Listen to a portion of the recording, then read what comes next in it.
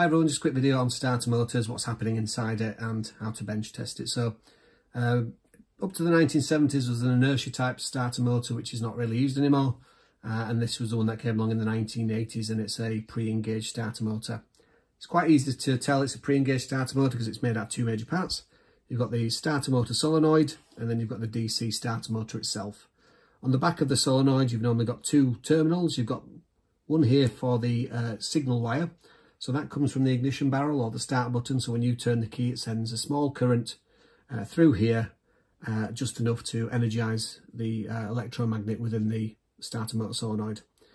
When the uh, starter motor solenoid uh, does get energized, what happens is it creates an electromagnetic field and it pulls a plunger backwards. As it goes backwards, it does hit a pair of contacts here.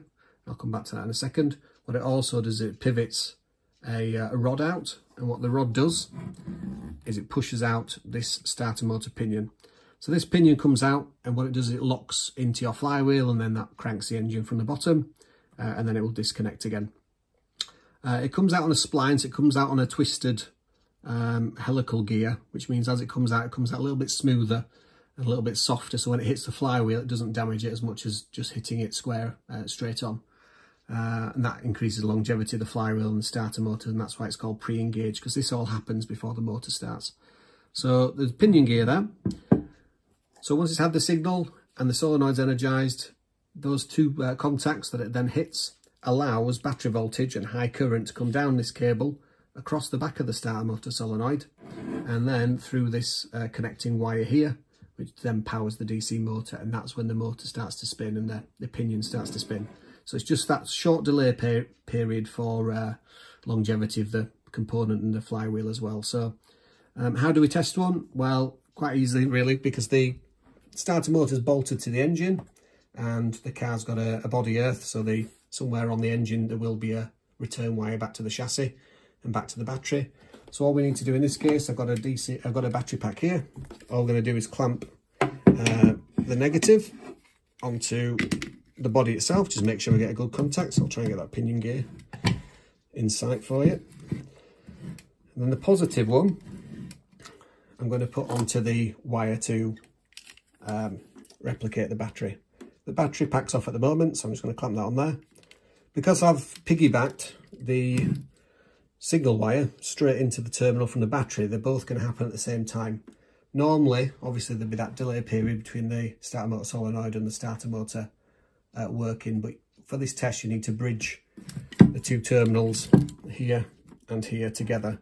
So I've done that by piggybacking the wire because this is off a, a, scrap car. But you can just bridge it with a piece of metal, a screwdriver, something like that. Um, so you're getting the signal and the uh, battery voltage at the same time. So I'm going to turn on the battery pack and hopefully this starter motor will work. Obviously, before I do, just mention, make sure your contact's quite clean for your earth. That's might um, might stop it from working this test. So here we go.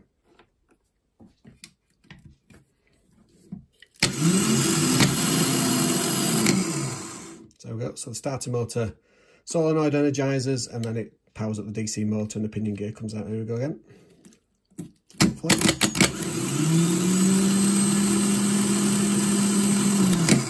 Starter motor would normally only run for a few seconds. If it's running longer than that, it doesn't particularly like it, but again, this is off a donor car, so it's not a problem. One more time.